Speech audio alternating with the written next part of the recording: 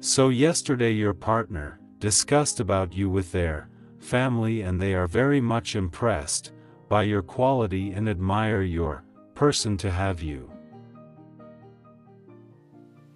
Because of how you have loved them through all the ups and downs your person is seeing you, living and moving forward and it creates a pull towards you they wish to start by getting clean.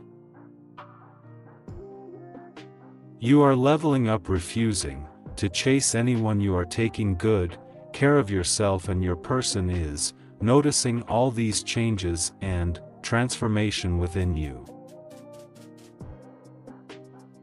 They are admiring your strength because you may come out strong each time you go through cycles and lessons with them. Because it's their time to think, analyze, and wonder about you, it's their time to feel the same thing which you have felt since the beginning of this connection. They are seeing you as clear test from them and honestly, it looks good on you they are pulling your energy but you are not feeling it as much as you have felt in the initial phase of this journey. You don't even realize how much patience and self-love you have thought them your person is serious about you and working hard to give you everything.